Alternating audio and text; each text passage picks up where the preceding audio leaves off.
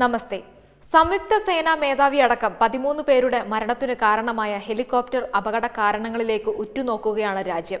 അതേസമയം സൈനിക ഹെലികോപ്റ്റർ അപകടത്തിന്റെ തൊട്ടു മുൻപുള്ള ദൃശ്യങ്ങൾ പുറത്തായിരിക്കുന്നു. അപകടം നടക്കുന്നതിന്റെ പതിനാല് സെക്കൻഡുകൾ മാത്രം മുമ്പ് നാട്ടുകാരനായ ഒരാൾ ചിത്രീകരിച്ച വീഡിയോയാണിത്. ഊട്ടി കുനൂരിന് തൊട്ടടുത്തുള്ള ഒരു മീറ്റർ ഗേജ് റെയിൽപാളത്തിലൂടെ നടന്നു പോകുന്ന ഒരു സംഘം ആളുകളുടെ ദൃശ്യങ്ങളാണ് പുറത്തു വന്നിരിക്കുന്നത്. കനത്ത മൂടൽ മഞ്ഞിനുള്ളിലേക്ക് ഹെലികോപ്റ്റർ കടന്നു പോകുന്നതായി ദൃശ്യങ്ങളിൽ വ്യക്തമായി കാണാം. ഹെലികോപ്റ്റർ മേഘങ്ങളിലേക്ക് മാറി കാണാതായതിന് പിന്നാലെ വലിയ സ്ഫോടന ശബ്ദം കേൾക്കാം.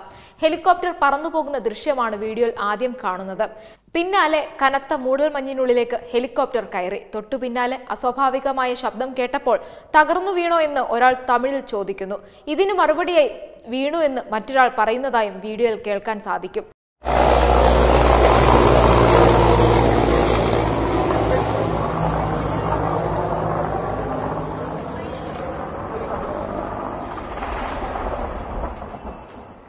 என்னாச்சு?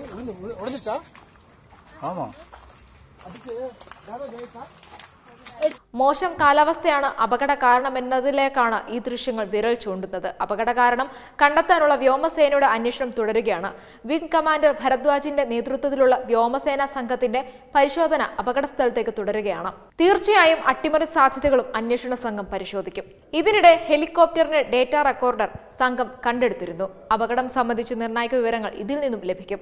കഴിഞ്ഞ ദിവസം ഉച്ചയ്ക്ക് പന്ത്രണ്ട് ഇരുപതോടെയാണ് സംയുക്ത സേനാ മേധാവി വിപിൻ റാവത്തും സംഘവും സഞ്ചരിച്ച ഹെലികോപ്റ്റർ നീലഗിരി കുനൂരിനടുത്ത് അപകടത്തിൽപ്പെട്ടത്.